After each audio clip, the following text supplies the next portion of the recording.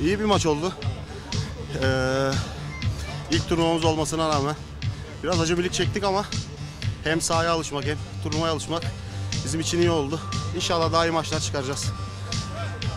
Böyle bir büyük bir organizasyona ilk defa katılıyoruz. Ee, bunun gururunu yaşıyoruz. İlk defa takımımız böyle bir büyük organizasyona giriyor. Şirketimizi e, iyi yerlere taşıyacağımıza inanıyoruz. Elimizden gelen fazlasını yapacağız. Ee, takım arkadaşlarıma bundan sonraki maçlarda başarılar diliyorum. Geliyoruz.